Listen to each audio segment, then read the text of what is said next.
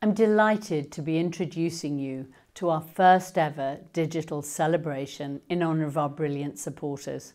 After so much uncertainty in recent months and even years, it's wonderful to be able to celebrate some of you who are helping us to secure the future of dementia research.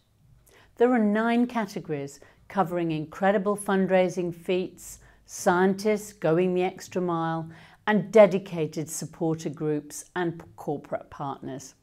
We also have a special category aptly named Outstanding Commitment for those supporters who've gone the extra mile, literally in some cases, for dementia research.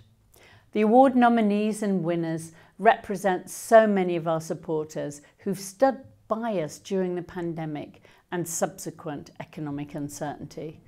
This has enabled us to bounce back from one of the most challenging periods to date and to invest more in research than ever before. And whilst it has been difficult for charities like ours, the recent news around potential treatments marks an exciting chapter for dementia research.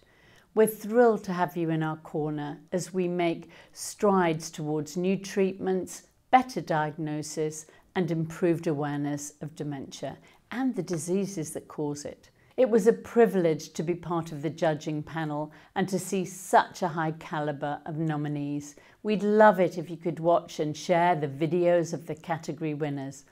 While these awards celebrate just a few of our supporters, it's important to say that we could not do the work we do or push for progress in dementia research without you, are wonderful supporters. So I want to take a moment to thank you all for everything you've done and continue to do for the future of dementia research.